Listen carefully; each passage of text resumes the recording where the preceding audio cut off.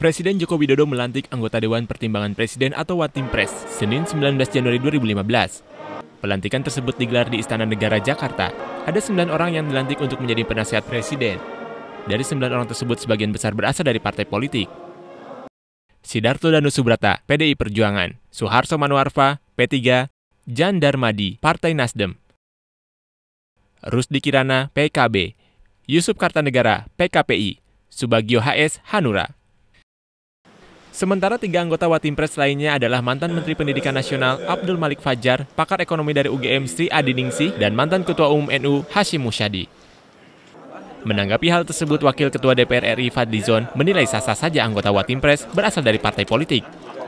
Itu kan nanti tergantung uh, dari Watimpres sendiri ya. Saya kira mereka adalah orang-orang yang cukup senior, punya latar belakang yang panjang gitu saya yakin mereka bisa memberikan pertimbangan yang terbaik bagi presiden. Loyalitas itu adalah menyampaikan apa adanya. Gitu. Saya kira terbaik bagi presiden, tapi terutama terbaik bagi bangsa dan negara. Kesembilan anggota Watimpres ini akan bekerja untuk memberikan masukan kepada presiden. Sesuai undang-undang, anggota Watimpres harus mengundurkan diri dari partai politik